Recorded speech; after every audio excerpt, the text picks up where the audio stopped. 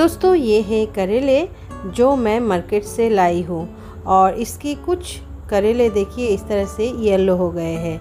तो इसके अंदर कुछ रेड कलर की इस तरह से सीड्स बनते हैं।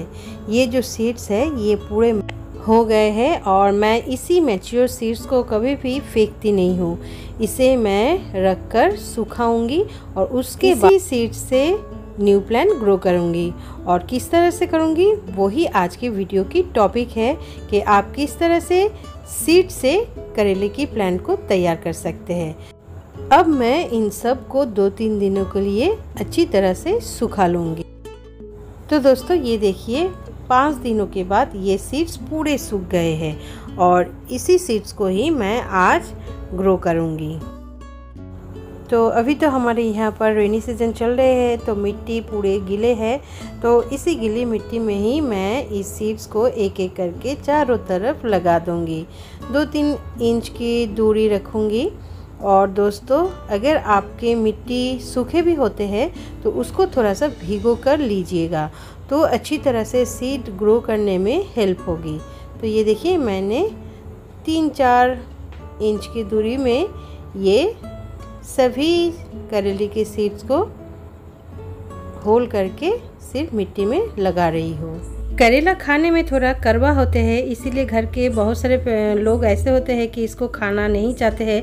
लेकिन ये खाना बहुत ही अच्छे होते हैं क्योंकि इनमें vitamin A B C carotene iron zinc potassium magnesium बहुत सारा कुछ है, जिसको खाकर हमारे शरीर में बहुत सारे बेनिफिट्स होते हैं, इसलिए खाना चाहिए। बाज़ार से लाए हुए सीड्स को फेंकिएगा मत, क्योंकि उसी सीड से आप न्यू प्लांट पा सकते हैं। और वो प्लान बहुत ही बढ़िया होते हैं और फ्रूटिंग भी बहुत ही बढ़िया होते हैं।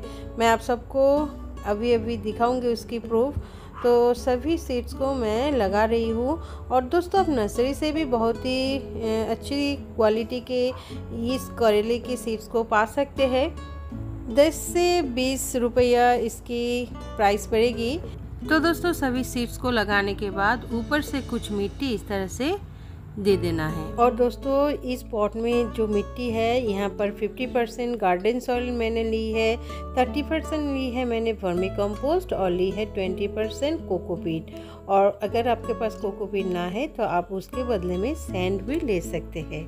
तो दोस्तों, मैंने यहाँ पर डायरेक्टली मिट्टी में सीड्स को लगाई है। अगर आप चाहते हैं तो रातों के समय इन सब सीड्स को भिगो कर रखने के बाद ही आप सुबह को इस तरह से लगा सकते हैं।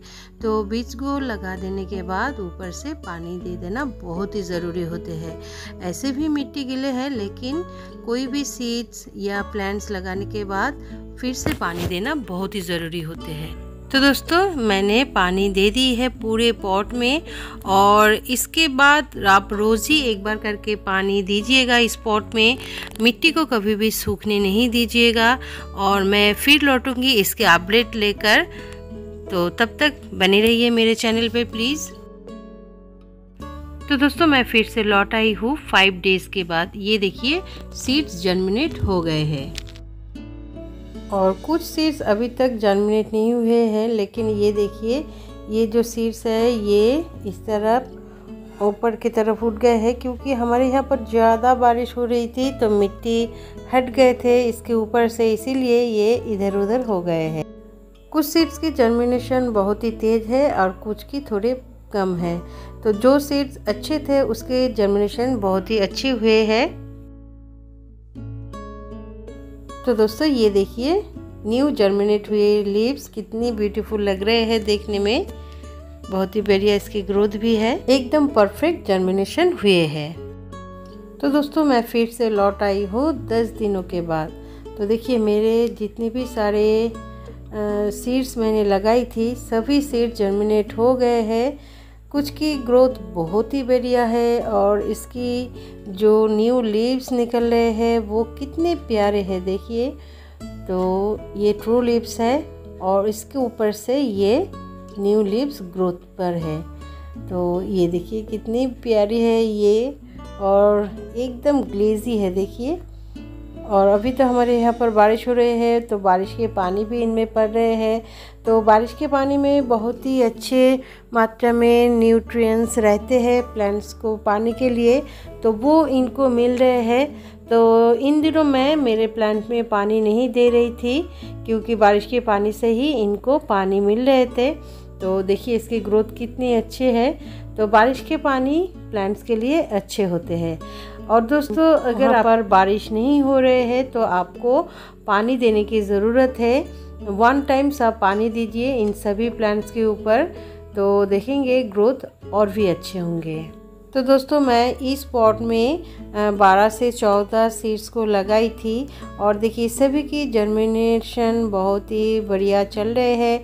कुछ की फास्ट चल रहे हैं और कुछ की स्लो तो लेकिन सभी सीड जर्मिनेट हो गए हैं। तो मैं तो बहुत ही हैप्पी हूँ।